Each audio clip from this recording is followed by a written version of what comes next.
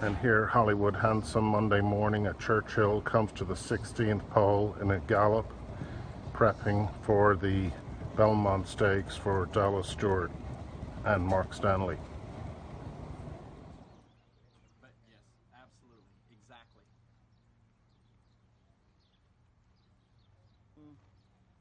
We're here with Dallas Stewart, and in the back in the stall is his Belmont Stakes contender, Hollywood Handsome.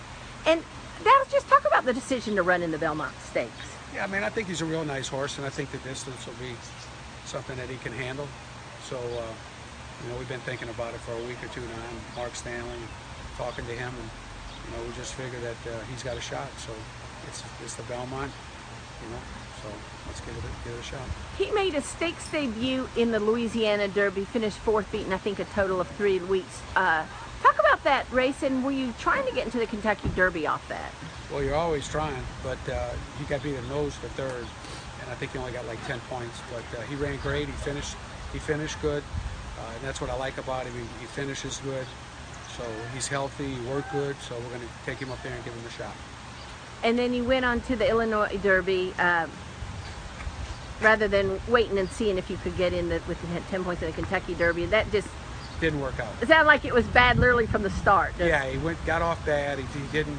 He wasn't set when they broke, and he was in behind horses. It just didn't work out. So, um, you know, we uh, brought him back here, worked him. We worked good. And we ran him in an allowance race. He ran hard, and so here we are.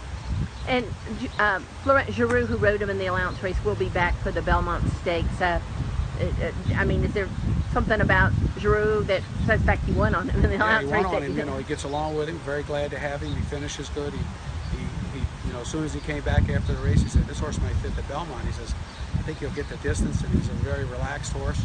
So we'll see. And you came up under Wayne Lukas, who won a lot of Belmonts with horses that going in you wouldn't necessarily uh, have put a circle around them as the winner. There you go.